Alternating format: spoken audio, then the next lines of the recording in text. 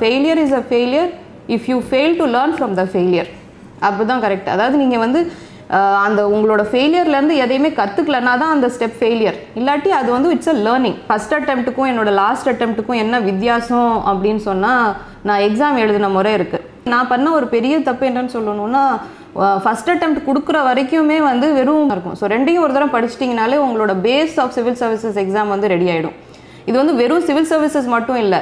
அதுக்கப்புறம் நீங்கள் எழுதக்கூடிய அந்த பேங்க் ப்ரொபேஷனரி எக்ஸாம்ஸ் வேறு எல்லா காம்படிட்டிவ் எக்ஸாம்ஸ்க்கும் அதுதான் பேஸ் யூத் பேப்பரின் இனிய வணக்கம். மறக்காமல் சப்ஸ்கிரைப் பண்ணுங்கள் பக்கத்தில் இருக்க பெல்லைக்கான கிளிக் பண்ணுங்கள் தேங்க்யூ அனைவருக்கும் வணக்கம். என் பேர் லலிதா. நான் வந்து ரெண்டாயிரத்தி ஒம்போது யூபிஎஸ்சி கண்டக்ட் பண்ண சிவில் சர்வீசஸ் எக்ஸாமில் வந்துட்டு all India level twelfth rank வாங்கியிருந்தேன். தமிழ்நாடை பொறுத்த வரைக்கும் முதல் ரேங்க் வாங்கியிருந்தேன். அதால் அதன் அடிப்படையிலே வந்து எனக்கு தமிழ்நாடு கேடர் அலாட் ஆகி தமிழ்நாட்டில் வந்து நான் வேலை செஞ்சுட்டு வந்து இருக்கேன். அதாவது யூபிஎஸ்சி எக்ஸாம் பார்த்தீங்கன்னா ஒரு வித்தியாசமான ஒரு பட்சன் பரீட்சைன்னு தான் சொல்ல வரணும். ஏன்னா நம்ம அது வரைக்கும் ஸ்கூல் படிச்சிருப்போம் காலேஜ் முடிச்சிருப்போம் அதுலேயும் டாப்பாக இருந்திருப்போம் இல்லை ஜென்ரலாக பாஸ் பண்ணியிருப்போம் ஆனால் ஈஸியாக பாஸ் பண்ணிடுவோம் இல்லை கொஞ்சம் முயற்சி போட்டால் பாஸ் பண்ணிடுவோம். ஆனால் யூபிஎஸ்சியை பொறுத்த வரைக்கும் ரொம்ப ரொம்ப முக்கியமானது வந்து செல்ஃப் கான்ஃபிடென்ஸ் விடாமுயற்சி தான். ஏன்னா நீங்கள் அது வரைக்கும் டாப்பராக இருந்திருந்தீங்கன்னா கூட அந்த யூபிஎஸ்சி எக்ஸாமில் அந்த மூணு படி இருக்கு இல்லைங்களா? ப்ரிலிம்ஸ் மெயின்ஸ் இன்டர்வியூ இதில் எந்த படியில் நீங்கள் வந்து விழுந்தீங்கனாலும் திருப்பி ஆரம்பத்தில் தான் ஆரம்பிக்கணும். அது வரைக்கும் டாப்பராக இருந்திருந்து நான் இதுலேயும் டாப் ஆகிடுவேன் ஒரே தரத்தில் கிளியர் பண்ணிடுவேன்னு நினைக்கலாம் நிறைய பேர். அதுலேயும் நிறைய பேர் சாதிக்கவும் செய்கிறாங்க ஸோ இது வந்து நம்ம நம்ம ஸ்கூல் குள்ளே இருக்கிற ஸ்டூடெண்ட்ஸ் கூட கம்பீட் பண்ணுறதோ தமிழ்நாடுக்குள்ளே இருக்கிற ஸ்டூடெண்ட்ஸோட கம்பீட் பண்ணுறதோ இல்லை. இது ஆல் இந்தியா லெவலில் பல வருஷங்களாக ட்ரை பண்ணிக்கிட்டு இருந்த ஒரு குரூப் கூட தான் நம்ம கம்பீட் பண்ணுறோம் ஸோ நம்ம கம்பீட் பண்ணுற குரூப் வந்து ரொம்ப ரொம்ப பெரிய குரூப் சில பேர் வந்து அஞ்சாறு வருஷமாக கூட ப்ரிப்பேர் பண்ணிகிட்டு இருப்பாங்க. அதனால் இந்த தேர்வை வந்து ரொம்ப சாதாரணமாகவும் எடுத்துக்க முடியாது. ஏன்னா இதில் வந்து விடாமுயற்சி கண்டிப்பாக தேவை. அதில் இன்னும் ரொம்ப முக்கியமான விஷயம் ஒரு தடவை தோல்வி அடைஞ்சிட்டா கண்டிப்பாக ஐயோ இதோட முடிஞ்சு போச்சு. நம்மளால் இனிமேல் என்ன முடியும்? அப்படின்னு நினைக்கிறது தான் ரொம்ப ரொம்ப தவறு. ஏன்னா ஒரு தடவை நம்ம எந்த விதத்தில் தோல்வி அடைஞ்சிருக்கோமோ எந்த ஸ்டெப்பில் எப்படி நம்மளுக்கு மார்க் குறைஞ்சிருக்குதோ அதை அனலைஸ் பண்ணி நெக்ஸ்ட் டைம் நம்ம அதை வந்து இம்ப்ரூவ் பண்ணோன்னா தான் கண்டிப்பாக நம்மளால் சாதிக்க முடியும். இப்போ என்னோட எக்ஸாமை பொறுத்த வரைக்கும் பர்சனல் எக்ஸாம்பிள் பார்த்தீங்கன்னா நான் எழுதினப்பெல்லாம் வந்து பழைய பேட்டர்ன் ஸோ ரெண்டு மெயின்ஸ் இருக்கும். பப்ளிக் அட்மினிஸ்ட்ரேஷன் அண்ட் ஹிஸ்ட்ரி நான் வந்து எடுத்துகிட்டு இருந்தேன். பப்ளிக் ஜென்ரலி எல்லாரும் என்ன நினைப்பாங்கன்னா என்ஜினியரிங் படிச்சிருந்தா பப்ளிக் அட்மினிஸ்ட்ரேஷன் அண்ட் ஜியாகிரஃபி வந்து ஈஸியாக படிக்கலாம். அவங்களுக்கு வந்து அது பை நேச்சர் வரும் அப்படின்ட்டு. ஆனால் எனக்கு அப்படி இல்லை. எனக்கு ஹிஸ்ட்ரியில் தான் ரொம்ப ரொம்ப இன்ட்ரெஸ்ட்டாக இருந்துச்சு. அது எனக்கு எப்போ தெரிஞ்சதுன்னா அந்த ஜென்ரல் ஸ்டடீஸ்ன்ற ஒரு டாபிக் இருக்குது பாருங்கள் அதில் பல சப்ஜெக்ட்ஸ் இருக்கும். ஹிஸ்ட்ரி சிவி லைக் ஜியாகிரஃபி சிவில் ஸ்டடீஸ் அந்த மாதிரி பல சப்ஜெக்ட் இருக்கும். அது படித்தப்போ தான் எனக்கு அவுட் ஆஃப் எவ்ரி திங் எனக்கு ஹிஸ்ட்ரி தான் ரொம்ப பிடிச்சிருந்துச்சு. ஸோ அதனால தான் சரி ஹிஸ்ட்ரி ஒரு ஆப்ஷனாக எடுத்து நம்ம படித்தோம் ஸோ ஹிஸ்ட் ஆப்ஷனில் வந்து நம்ம இன்ட்ரெஸ்ட்டாக இருக்க சப் எடுக்க எடுத்து படிக்கிற சப்ஜெக்ட் ஒன்று இன்னொன்று வந்து நம்ம பக்கத்தில் இருக்கிற கும்பல் சொல்லி எடுக்கிற சப்ஜெக்ட் ஒன்று ஸோ அந்த விதத்தில் வந்து பப்ளிக் அட்மினிஸ்ட்ரேஷன் எடுத்திருந்தேன். பட் எனக்கு அந்த பப்ளிக் அட்மினிஸ்ட்ரேஷனில் அவ்வளோ ஒரு இன்ட்ரெஸ்ட் இல்லைன்னு தான் சொல்லணும். அதனால தான் ஃபஸ்ட் அட்டம்ப்ட்லேருந்து எனக்கு அதில் மார்க் குறைவாக இருக்கும். ஹிஸ்ட்ரியில் ரொம்ப அதிகமாக இருக்கும். பட் நான் முக்கால்வாசி பேர் உங்களுக்கு என்ன சொல்லுவாங்கன்னா பப்ளிக் அட்மினிஸ்ட்ரேஷன் இஸ் ஈஸி நிறையா மார்க் வாங்கிடலாம். ஹிஸ்ட்ரி தான் ரொம்ப கஷ்டம். ரொம்ப போரிங் அப்படின்னு சொல்லுவாங்க. அந்த விதத்தில் வந்து நம்மளுக்கு இந்த யூ யூபிஎஸ்சியை பொறுத்த வரைக்கும் நீங்கள் ஆப்ஷன் செலக்ட் பண்ணுறது ரொம்ப ரொம்ப முக்கியம். ஸோ அதில் வந்து நான் கற்றுக்கிட்டது என்னென்னா நம்மளுக்கு பிடிக்கிற சப்ஜெக்ட் நம்மளுக்கு இன்ட்ரெஸ்ட் இருக்கிற சப்ஜெக்ட் தான் நம்ம வந்து எடுக்கணும். மற்றவங்க சொல்கிறாங்கன்றதுக்காக நம்ம எடுத்தோம்னா கண்டிப்பாக அதில் இன்ட்ரெஸ்ட் க்ரியேட் பண்ணுறது ரொம்ப கஷ்டம். ஏன்னா யூபிஎஸ்சியோட எக்ஸாம் பேட்டர்னே பார்த்தீங்கன்னா இட்ஸ் நாட் லைக் மக்கிங் இது படிச்சுட்டு அப்படியே போய் ஆன்சர் எழுதுனாலும் அது எழுத முடியாது. அதை வந்து டீப்பாக புரியணும் அதை வந்து அனலைஸ் பண்ண தெரியணும். கேள்வியை எப்படி வேணாலும் திரிச்சு கொடுத்தாலும் அதுக்குண்டான ஆன்சர் எழுதக்கூடிய ஒரு வாய்ப்பு இருக்கணும். ஸோ அதனால் உங்களுக்கு இன்ட்ரெஸ்ட் இருக்க சப்ஜெக்டை எடுக்கணும். ஸோ என்னோட பேட்டர்ன் அனலைஸ் பண்ணிங்கன்னா பப்ளிக் அட்மினிஸ்ட்ரேஷனை எப்படி இம்ப்ரூவ் பண்ணணுன்றது தான் ஒரு ஒரு அட்டம்ப்ட்லையும் நான் இம்ப்ரூவ் பண்ணது. ஸோ ஃபஸ்ட் டைம் நான் இன்டர்வியூ பப்ளிக் அட்மினிஸ்ட்ரேஷன் எழுதினப்போ எனக்கு அதில் மார்க் குறைவாக இருந்துச்சு. சரி எந்த ஏரியாவில் குறைஞ்சிருக்குது அப்படின்னு சொல்லிட்டு அடுத்த தடவை அனலைஸ் பண்ணி கொஞ்சம் இம்ப்ரூவ் பண்ணேன்.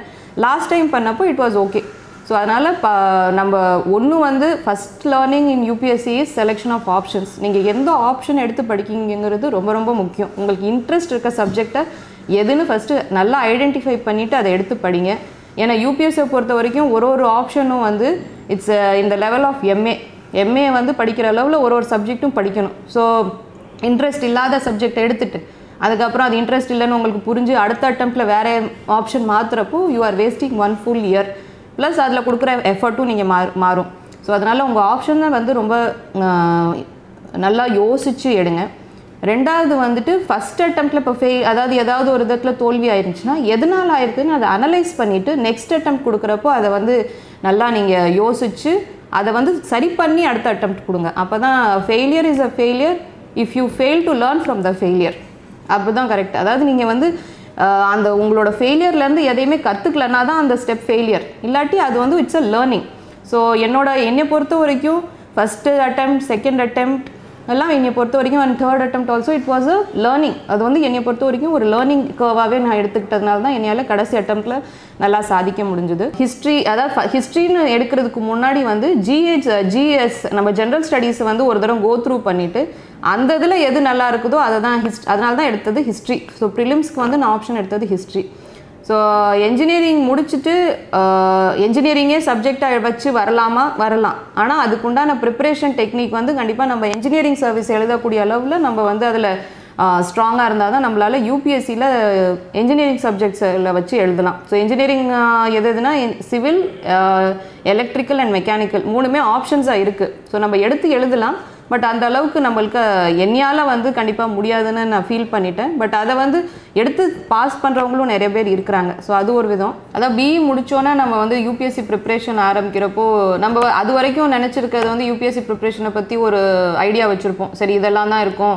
ஜென்ரலாக சொல்கிறது என்னென்னா இந்த டாட்டா மெக்ரஹில் ஒரு ஒரு பெரிய புக் இருக்கும். அதை படிச்சுட்டா சிவில் ஜென்ரல் ஸ்டடீஸ் முடிஞ்சிடும் இதை தவிர ஆப்ஷன் ஒன்று படித்தா முடிஞ்சிடும்னு சொல்லுவாங்க. அப்போ அந்த என்ஜினியரிங் முடிச்சதுக்கு அப்புறம் வந்துட்டு அந்த டாடா மைக்ரோஹில் புக் வாங்கி வச்சுட்டு இருந்தப்போ அது ஒரு நல்ல ஒரு பில்லோ மாதிரி இருக்கும் தலையணை மாதிரி இருக்கும். அதை எடுத்து பார்க்குறப்போ ஒன்றுமே புரியல. சரி இது என்ன எங்கே ஆரம்பிக்கிறது எங்கே ஆரம்பிக்கக்கூடாது ஒன்றுமே புரியல. ஸோ ஏன்னா அது எல்லாமே படித்த போர்ஷனாக தான் இருந்துச்சு பட் இன்னும் புதுசாகவே இருந்துச்சு. சரி அதுக்கப்புறம் தான் சரி நம்ம ஒரு ஸ்டடி குரூப் ஜாயின் பண்ணலாம் அப்படின்னு சொல்லிட்டு தான் திருச்சி ஸ்டடி சர்க்கிள் அங்கே திருச்சியில் அப்போ இருந்துச்சு.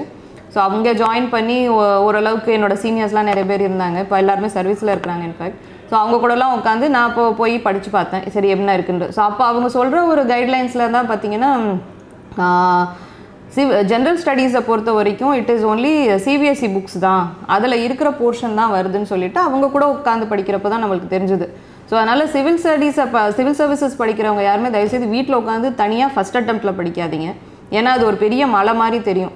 ஸோ அதை ஓவர் கம் பண்ணுறதுக்காக தான் உங்களுக்கு கோச்சிங் போங்க ஸ்டடி சர்க்கிள் ஜாயின் பண்ணுங்கள் அப்படின்லாம் சொல்லுவாங்க. ஈவன் இன்ஃபேக்ட் இப்போ இருக்கிற நிறைய லைப்ரரிஸ்லேயே கூட நிறைய குரூப் ஃபார்ம் பண்ணி படிக்கிறாங்க. ஸோ அது ஏன் அப்படி சொல்கிறாங்கன்னா ஏன்னா இது ஒரு கடல். ஸோ அந்த கடலை நம்ம கிராஸ் பண்ணோன்னா நம்மளுக்கு கண்டிப்பாக மத மற்றவங்களோட ஒரு சேர்ந்து இருந்து ஒரு இருந்தோன்னா தான் நம்மளுக்கு அந்த மென்டாலிட்டி வரும். தனியாக உட்காந்து ஒரு ரூமில் நான் பூட்டிக்கிட்டு எக்ஸாம்க்கு படிக்கிற மாதிரி இல்லை நம்ம செமஸ்டருக்கு படிக்கிற மாதிரி படிக்கணும்னு சொன்னால் அது ரொம்ப கஷ்டம் தான் ஸோ என்னை பொறுத்த வரைக்கும் மற்றவங்க கூட போய் கொஞ்சம் பேசி படிக்கிறப்ப தான் என்னால் அதை படிக்க முடிஞ்சுது. ஸோ அப்போ தான் சொன்னாங்க சி சிபிஎஸ்சி புக்ஸ் வந்து ஒன்லேருந்து டுவெல் அதாவது டுவெல்த் ஸ்டாண்டர்ட் வரைக்கும் உள்ள புக்ஸை படித்தாலே வந்து அந்த ஜென்ரல் ஸ்டடீஸ் நம்மளுக்கு கவர் ஆகும்னு சொன்னாங்க. ஸோ அப்போ தான் நினச்சேன் நம்ம படித்ததே சிவில் சிபிஎஸ்சியில் தானே படித்தோம் ஸோ அப்படின்ட்டு திருப்பி பழைய புக்கெல்லாம் தூசி தட்டி எடுத்து அதை படித்து பார்க்குறப்போ தான் அதே மேட்டர் தான் உங்களுக்கு ஈஸியான வகையில் டெக்ஸ்ட் புக்கில் இருக்குது ஸோ சிபிஎஸ்சியும் இப்போ இருக்கிற சமச்சீரில் இருக்கிற புக்ஸும் ரொம்ப வித்தியாசமாக இல்லை.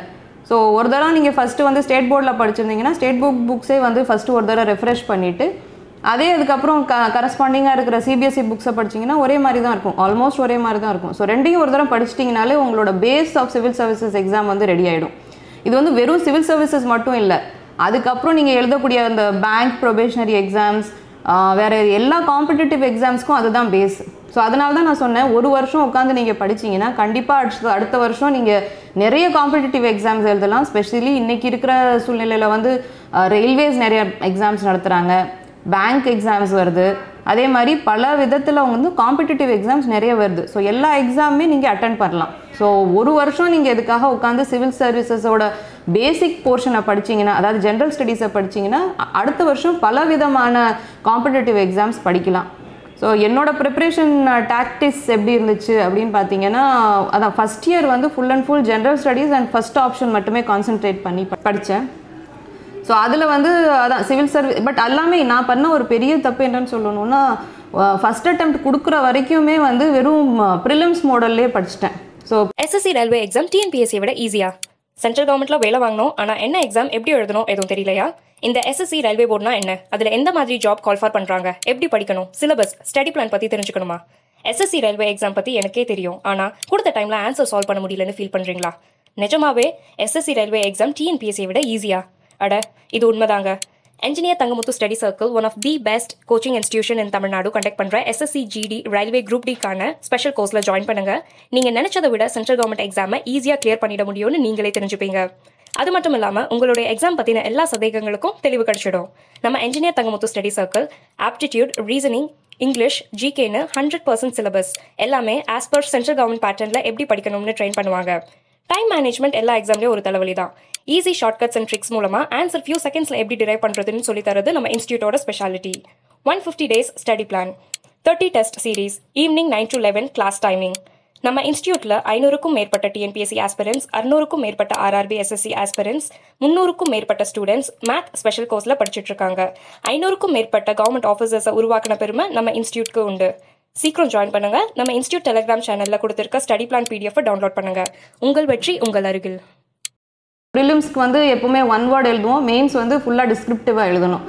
ஸோ எல்லாமே வந்து ஒன் வேர்டு மாடலில் படித்தப்போ ப்ரிலிம்ஸ் முடிச்சதுக்கப்புறம் மெயின்ஸ் படிக்க ஆரம்பிக்கலாம்னு நினைக்கிறப்போ டைம் வந்து ஒரு த்ரீ ஃபோர் மந்த்ஸ் தான் இருந்துச்சு. ஸோ அந்த இதுக்குள்ளே என்னால் general studies first option second option ரெண்டுமே வந்து மெயின்ஸ் அளவுக்கு கொஞ்சம் ப்ரிப்பேர் பண்ண முடியாத ஒரு சூழ்நிலையாக இருந்துச்சு.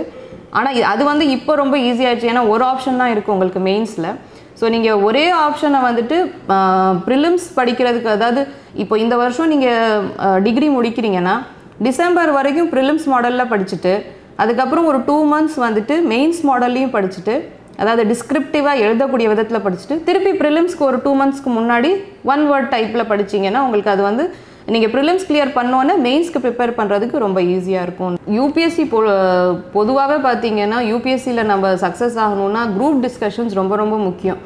ஸோ என்னையை வந்து கடைசி தடவை நான் நிறைய மாற்றிக்கிட்டது வந்து குரூப் டிஸ்கஷன்ஸ் தான் சொல்லணும். ஏன்னா ஒரு பேப்பரை படிச்சுட்டு நாங்கள் ஒரு அஞ்சு ஆறு பேர் இருப்போம்.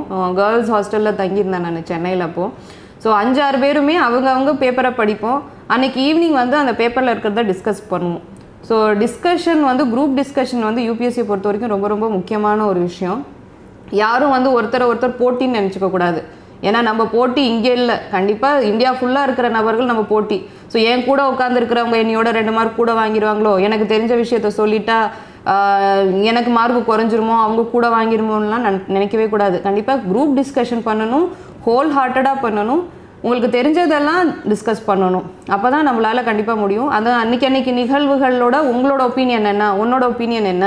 இதை எப்படி செஞ்சிருந்தா நல்லாயிருக்கும்? இதனால் இதனால என்ன ஆகும்? அப்படிங்கிறதெல்லாம் ஒரு ஓப்பனாக டிஸ்கஸ் பண்ணணுன்றது ஒரு ரொம்ப இம்பார்ட்டண்ட்டான ஒரு விஷயம். ஸோ கடைசி தடவை நான் பண்ணது வந்து என் இந்த மாதிரி குரூப் டிஸ்கஷன்ஸ் நாங்கள் பண்ண அஞ்சாறு பேருமே வந்து இன்றைக்கி சர்வீஸில் இருக்கிறோம்.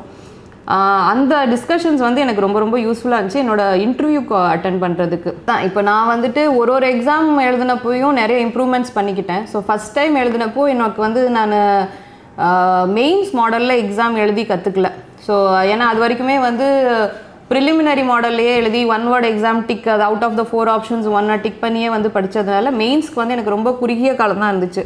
ஸோ அந்த மெயின்ஸுக்கு ப்ரிப்பேர் பண்ணாதது தான் என்னோடய ஃபஸ்ட்டாக டைம் எனக்கு கிளியர் ஆகாததுக்கு மெயின் காரணம். செகண்ட் டைம் கிளியர் ஆகாமல் இருந்ததுக்கு காரணம் வந்துட்டு நான் பப்ளிக் அட்மினிஸ்ட்ரேஷனில் சரியாக பண்ணலன்றது எனக்கு நல்லாவே தெரிஞ்சிச்சு. ஸோ மூணாவது தடவை நம்ம ஃபைனல் அட்டம் கொடுக்குறப்போ எப்படி அந்த தப்பை சரி பண்ணேன்னா பப்ளிக் அட்மினிஸ்ட்ரேஷனுக்கு டெஸ்ட் சீரிஸ் மட்டும் ஜாயின் பண்ணேன். ஸோ லாஸ்ட் டைம் போனப்போ only test series so prelims வந்து கண்டிப்பாக கிளியர் பண்ணிடுவோன்ற ஒரு தைரியத்தில் இருந்தேன். ஏன்னா அப்போ வந்து ஒன் டுவெண்ட்டி கொஷின்ஸ் இருக்கும். ஸோ அதில் மோர் தேன் ஹண்ட்ரட் வந்து கரெக்டாக இருந்துச்சு எனக்கு ஆப்ஷனில் எனக்கு எனக்கு அவ்வளோ கான்ஃபிடென்ஸாக ஹிஸ்ட்ரி வந்து அவ்வளோ கிளியராக இருப்பேன். அவ்வளோ uh, பிடிக்கும். ஏன்னா அந்த அந்த அளவுக்கு எனக்கு ஹிஸ்ட்ரி பிடிச்சிருந்துச்சு. ஸோ ஃபஸ்ட் டைம்லேயே வந்துட்டு இப்போ செகண்ட் டைம் நம்ம எழுதப்போ அதாவது தேர்ட் டைம் நம்ம எழுதுகிறப்போ கண்டிப்பாக எந்த விதமான நம்ம ஃபஸ்ட் டைம் ஃபஸ்ட்டு டூ டைம்ஸுமே எழுதின தப்பு பண்ணக்கூடாதுன்ற ஒரு தீர்மானத்தோடு தான் எழுதினேன் so what I did was test series so மெயின்ஸ்க்கு உண்டான டெஸ்ட் சீரீஸ் ஸோ கிட்டத்தட்ட ஆறு மாதமாக வெறும் டெஸ்ட் சீரீஸ் டெஸ்ட் சீரிஸ்னால் லா previous year question papers last ஒரு டென் இயர்ஸோட கொஷின் பேப்பர் எடுத்துகிட்டு டெய்லி வீட்டில் உட்காந்து எழுதி பார்க்குறது ஸோ அது வந்து எழுதி பார்த்தா மட்டும்தான் நம்மளால் அந்த மெயின்ஸில் வந்து அதுவும் அந்த டைம் லிமிட்குள்ளே ஏன்னா யூபிஎஸ்சியில் ரொம்ப ரொம்ப முக்கியம் அந்த டைம் லிமிட் அட்ஹேர் பண்ணுறது அந்த வேர்ட் லிமிட் அட்ஹேர் பண்ணுறது நம்ம பாட்டுக்கு கதை எழுதினாலும் நம்மளால முடியாது. நம்ம பாட்டுக்கு பொறுமையாக எழுதினாலும் முடியாது. ஸோ அந்த டைம் லிமிட்குள்ளே அந்த வேர்ட் லிமிட்டுக்குள்ளே நம்ம அந்த ஆன்சரை கன்வே பண்ண முடியுதான்றதுக்காக டெ டெஸ்ட் சீரீஸ் நிறையா எழுதினேன். ஸோ என்னோடய மெயின் ப்ராப்ளம் வந்து பப்ளிக் அட்மினிஸ்ட்ரேஷனில் தியரட்டிக்கலாக என்னால் எழுத முடியாமல் தான் இருந்தது. ஸோ அதை தேர்ட் டைம் நம்ம மெயின்ஸ் எழுதினப்போ கண்டிப்பாக அதை வந்து சரி பண்ணணுன்றதுக்காகவே டெஸ்ட் சீரீஸ் எழுதி அந்த தப்புக்கு வந்து நிறைவேற்றிக்கிட்டேன் ரெண்டாவது வந்து நான் ஃபஸ்ட் அட்டெம்ட்டுக்கும் என்னோட லாஸ்ட் அட்டெம்ட்டுக்கும் என்ன வித்தியாசம் அப்படின்னு சொன்னால் நான் எக்ஸாம் எழுதின முறை இருக்குது அதாவது ஃபஸ்ட் அட்டெம்ப்ட் எழுதினப்போ எனக்கு தெரிஞ்சதெல்லாம் எழுதினேன். செகண்ட் அட்டெம்ப்ட் எழுதினப்போ கொஞ்சம் மாற்றி எக்ஸாமில் கொஷினில் என்ன கேட்டிருக்காங்களோ அதுக்கு தகுந்தாப்புல எழுதினேன். மூணாவது தடவை எனக்கு அந்த கொஷனில் என்ன கேட்டிருக்காங்களோ அதிகமாக கதை எழுதாமல் பாயிண்ட் புல்லட் பாயிண்ட்ஸ் போட்டுட்டு எனக்கு தெரிஞ்ச அந்த கொஷின் ரெலவெண்ட்டாக நம்ம ஆன்சரை மாற்றிக்கணும் ஸோ அது வந்து ரொம்ப ரொம்ப முக்கியம். ஸோ அது வந்து என்னோட எக்ஸாம் நான் எழுதின பேட்டர்னில் மாற்றினேன் ரெண்டாவது ரொம்ப முக்கியமான விஷயம் என்னென்னா நம்ம இப்போ எக்ஸாம் எழுதுகிறோன்னா நம்ம மாதிரியே ஒரு ஆயிரக்கணக்கில் எக்ஸாம் எழுதியிருப்பாங்க அந்த paper so examiner point of வியூவில் பார்க்குறோன்னா நம்ம பேப்பர் நம்மளுக்கு முன்னாடி செக் பண்ண பேப்பரோட நம்ம பேப்பர் எப்படி வித்தியாசமாக காட்டணுன்றது அந்த எக்ஸாமினரை இம்ப்ரெஸ் பண்ணும். ஸோ அதுக்காக வந்து தெளிவாக எழுதுறது. ப்ளஸ் கொஞ்சம் டயக்ராம்ஸ் போட்டு எழுதுறது. அண்டர்லைன் பண்ணி எழுதுறது. இதெல்லாம் வந்து நம்ம பேப்பரை வந்து நம்மளுக்கு முன்னாடி அவங்க கரெக்ட் பண்ணியிருக்க பேப்பர்லேருந்து நம்ம பேப்பரை கொஞ்சம் தனியாகவே எடுத்து காமிக்கும். அது கண்டிப்பாக அந்த எக்ஸாமினரை இம்ப்ரெஸ் பண்ணும். ஸோ கிறிஸ்பாக எழுத வேணும் கிறிஸ்பாக எழுதணும் தெளிவாக எழுதணும். படிக்கக்கூடிய முறையில் எழுதணும். ஸோ ஹேண்ட் ரைட்டிங்கும் கொஞ்சம் இம்ப்ரூவ் பண்ணிக்கணும். ஸோ இதெல்லாம் வந்துட்டு அந்த எக்ஸாமினரை கண்டிப்பாக நம்ம பேப்பர் வந்து கொஞ்சம் நல்லாவே நம்மளை இம்ப்ரெஸ் பண்ணி நம்ம நம்ம நிறைய மார்க் வரக்கிறதுக்கு ஒரு வாய்ப்பு இருக்குது ஸோ இது வந்து நான் இம்ப்ரூவ் பண்ணிக்கிட்ட ஒரு விஷயம்.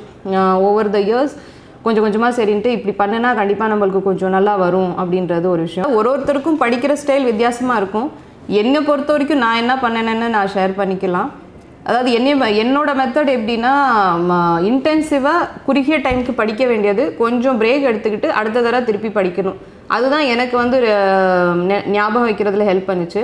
ரெண்டாவது வந்து வீக்லி ரீகேப் அதாவது நம்ம பாட்டுக்கு ஃபுல் புக்கையும் ஒரே கோலை படிக்கிறதோட ஒரு பத்து சாப்டர் படிச்சுட்டு அந்த வாரம் ஃபுல்லாக என்ன படித்தோமோ அதை வந்து அட் இப்போ வாரத்தில் ஏழு நாள் இருக்குது அஞ்சு நாள் படிங்க. அந்த அஞ்சு நாள் என்ன படித்தோன்றது அந்த ரெண்டு நாள் ரீகேப் பண்ணணும். அது என்னோட ஸ்ட்ராட்டஜியாக இருந்துச்சு. ஸோ அஞ்சு நாளும் அஞ்சு நம்ம என்னெல்லாம் படிக்கிறோன்றத அதை லாஸ்ட் டூ டேஸ் அதாவது மீதி ரெண்டு நாட்கள் கண்டிப்பாக அது வந்து என்ன படிச்சோன்றதை ரீகேப் பண்ணுறது வந்து எனக்கு இந்த லாங் ரன் ரொம்ப ஹெல்ப்ஃபுல்லாக இருந்துச்சு. இதே மாதிரி ஒரு ரெண்டு மாதம் படிச்சுட்டு அந்த ரெண்டு மாதம் என்ன படிச்சோன்றதையும் ஒரு ரெண்டு நாளைக்குள்ளே நம்மளால் ரிவைஸ் பண்ண பண்ணணும். அப்படின்ற ஒரு டார்கெட் வச்சுக்கிட்டு படிக்கணும். அப்போ வந்து எனக்கு நிறையாவே ஞாபகம் இருக்குது வந்துச்சுன்னு ஒரு தோணுச்சு. ஏன்னா இல்லாட்டி நம்ம பாட்டுக்கு ஒரு ஃபுல் கோலை எல்லா ஒரு பத்து பதினஞ்சு சாப்டரை படிச்சுட்டு கடைசியில் பார்த்தா ஃபஸ்ட்டு சாப்டர் என்ன இருந்துச்சுன்னு கூட சில டைம் ஞாபகம் இல்லாமல் இருக்கும்.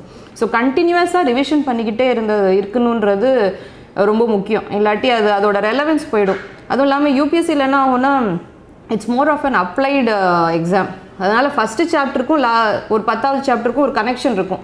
ஸோ நீங்கள் ஆன்சர் எழுதுகிறப்பவும் அது ரெண்டையும் இன்டர்லிங்க் பண்ணி எழுதுனீங்கன்னா தான் கண்டிப்பாக அதுக்கு ஒரு அர்த்தம் வரும். அப்போ தான் வந்து அந்த ஆன்சர்லேயும் அது மாதிரி ஒரு ரிஃப்ளெக்ட் ஆகிறப்போ கண்டிப்பாக அந்த சப்ஜெக்ட் உங்களுக்கு வந்து நல்லா புரிஞ்சிருக்குதுன்றது அந்த எக்ஸாமினருக்கு உங்களுக்கு அப்போ தான் எக்ஸாமினருக்கு தெரியும். ஸோ அதனால் ரீகேப் பண்ணிக்கிட்டே இருக்க வேண்டியது ரொம்ப ஒரு முக்கியமான விஷயம். இந்த யூபிஎஸ்சி மட்டும் பொறுத்த வரைக்கும் நிறைய பேர் குரு இருப்பாங்க. அதாவது நிறைய பேர் அட்வைஸ் சொல்கிறதுக்கு நிறைய பேர் இருப்பாங்க. ஈவன் நாமனே கூட நிறைய விஷயம் சொல்கிறேன் ஸோ நீங்கள் கேட்குறத கேட்டுக்கோங்க. பட் உங்களுக்கு என்ன ஒத்து வருதுன்றது நீங்கள் அதை வந்து ஃபில்டர் பண்ணி எடுத்துக்கணும். ஸோ ஏன்னா ச எனக்கு ஒத்து வர்ற விஷயங்கள் உடங் உங்களுக்கு ஒத்து வராமல் இருக்கலாம். அதே மாதிரி மற்றவங்க சொல்கிற விஷயம் அவங்களுக்கு ஒத்து வரலாம். ஆனால் உங்களுக்கு ஒத்து வருமா என்னன்னு நீங்கள் தான் முடிவு பண்ணணும். ஸோ நீங்கள் வந்து உங்களோட ஜட்ஜ்மெண்ட்டை யூஸ் பண்ணணுன்றது ரொம்ப ரொம்ப முக்கியம். பல பேர் பல விதமான விஷயங்களை சொல்லுவாங்க. இப்படி எழுது அப்படி எழுது இப்படி எழுதிடாத இதனால மைனஸ் ஆகிடும் அப்படின்லாம் சொல்லுவாங்க. அதெல்லாம் வேணுமோ வேணாமோன்னு நீங்கள் தான் முடிவு பண்ணணும். ஸோ உங்களோட ஜட்ஜ்மெண்ட்டை மட்டுமே முடிவு பண்ணுங்கள் கண்டிப்பாக என்னால் முடியுன்ற ஒரு நம்பிக்கையோட அவங்க சொல்கிறது எனக்கு தேவையா இல்லையா அப்படின்றத நீங்கள் கிரகிச்சுக்கிட்டு அதுக்கு தகுந்தாப்புல உங்களோட உங்களை மாற்றணுமா மாற்ற வேண்டாமான்னு நீங்கள் முடிவு பண்ணணுன்றது ரொம்ப முக்கியமான விஷயம். எஸ்எஸ்சி ரயில்வே எக்ஸாம் டிஎன்பிஎஸ்சியை விட ஈஸியா சென்ட்ரல் கவர்மெண்ட்ல வேலை வாங்கணும் ஆனால் என்ன எக்ஸாம் எப்படி எழுதணும் எதுவும் தெரியலையா? இந்த எஸ்எஸ்சி ரயில்வே போர்டுனா என்ன? அதில் எந்த மாதிரி ஜாப் கால்ஃபார் பண்ணுறாங்க எப்படி படிக்கணும்? சிலபஸ் ஸ்டடி பிளான் பற்றி தெரிஞ்சுக்கணுமா? எஸ்எஸ்சி ரயில்வே எக்ஸாம் பற்றி எனக்கே தெரியும் ஆனால் கொடுத்த டைமில் ஆன்சர் சால்வ் பண்ண முடியலன்னு ஃபீல் பண்ணுறீங்களா நிஜமாவே எஸ்எஸ்சி ரயில்வே எக்ஸாம் டிஎன்பிஎஸ்சியை விட ஈஸியாக அட இது உண்மைதாங்க. Engineer Thangamuthu study circle one of the best coaching institution in Tamil Nadu conduct பண்ற எஸ்எஸ்சி ஜிடி ரயில்வே குரூப் டிக்கான ஸ்பெஷல் கோர்ஸ்ல ஜாயின் பண்ணுங்க. நீங்க நினச்சதை விட சென்ட்ரல் கவர்மெண்ட் எக்ஸாமை ஈஸியாக கிளியர் பண்ணிட முடியும்னு நீங்களே தெரிஞ்சுப்பீங்க. அது மட்டும் இல்லாம உங்களுடைய எக்ஸாம் பத்தின எல்லா சந்தேகங்களுக்கும் தெளிவு கிடைச்சிடும். நம்ம engineer Thangamuthu study circle aptitude reasoning English ஜிகேன்னு hundred percent syllabus எல்லாமே ஆஸ் பர் சென்ட்ரல் கவர்மெண்ட் பேட்டர்னில் எப்படி படிக்கணும்னு ட்ரெயின் பண்ணுவாங்க. டைம் மேனேஜ்மெண்ட் எல்லா எக்ஸாம்லேயும் ஒரு தலைவலி தான்.